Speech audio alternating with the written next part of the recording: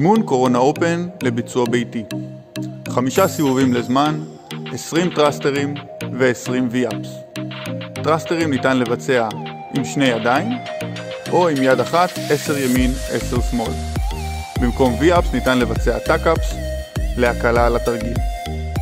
בטרסטרים, משקולת גובה כתף, מרפקים קדימה, squat מלא משקל על העקבים, בעלייה, נעילה של המרפקים, קו אוזניים, משקולת מעל הראש.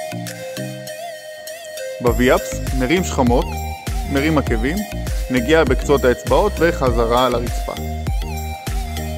ב tuck-ups, מרים שכמות, שולח ידיים קדימה, ברכיים לחזה, עקבים לישבן ונגיעה בקצות העקבים.